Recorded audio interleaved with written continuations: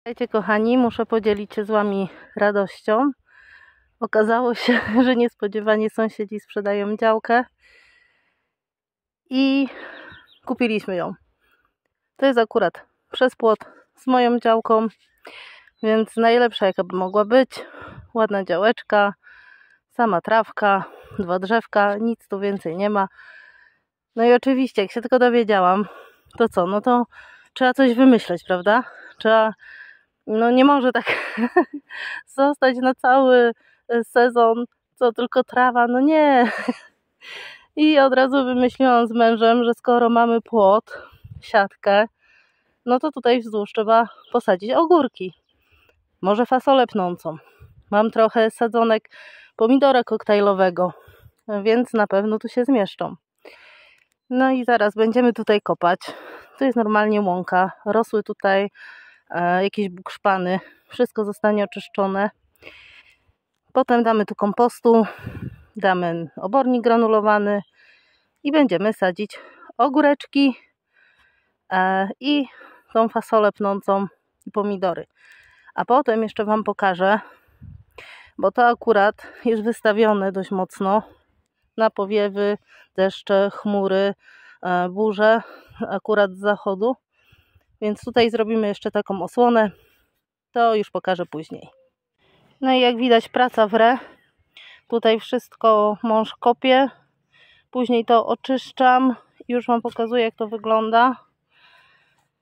Tutaj wyciągamy wszystkie korzenie, haszcze, które tam w ziemi były. Rozgrabiam. I teraz tak, rozrzuciłam obornik granulowany dość sporo, nie żałowałam, bo tutaj jest sam piasek i na to dałam kompost, żeby tutaj troszeczkę przykryć ten obornik i ta ziemia jednak czegoś dostała, jakiegoś życia, bo tutaj mówię, o, tak to jest sam piach, nic więcej. No a tutaj dodaliśmy troszeczkę tego e, kompostu, dość grubej frakcji i teraz to sobie poleży parę dni i będę wysiewać ogóreczki i jak będzie trzeba to je się okryje. Ale wierzmy, że już żadnych mrozów nie będzie że ta zimna Zośka okaże się ciepła. Myślałam, że wyściółkuję to czarną włókniną żeby tutaj tak nie zarastało ale trochę się boję, że jak będzie ciągle świeciło słońce na tą czarną włókninę, że te korzenie będą się tam gotować, kisić. Nie jestem do tego przekonana. Że sobie wczoraj namoczyłam nasiona ogórków, bo na jednej grządce już sobie posiałam e, i tam będą przykryte w razie potrzeby, no to szkoda tych nasionek. Więc dzisiaj sobie pomyślałam, że tutaj posadzę te ogóreczki. I tak, Kupiłam sobie wiaderka w hurtowni opakowań. To są litrowe.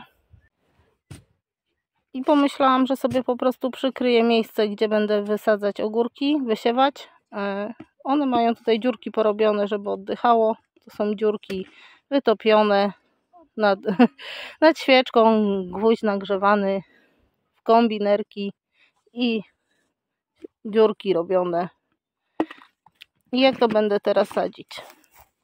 Biorę sobie dosłownie trzy ziarka, cztery w jedno miejsce. Wciskam delikatnie, przykrywam i w to miejsce daję wiaderko. Ja je sobie dość mocno wcisnę. I teraz ani ślimaki nie straszne, ani chłód nie straszny, bo zanim one wzejdą, urosną, no to tutaj już wszystko ochroni. No i tak wyglądają posadzone ogóreczki w tych pojemniczkach. To są, mówię, wiaderka ponad litr. Dziurki zrobione, chronią przed ślimakami, przed przemarznięciem młodych siewek. I tutaj już myślę, że będą fajne warunki dla tych ogóreczków. Do zobaczenia.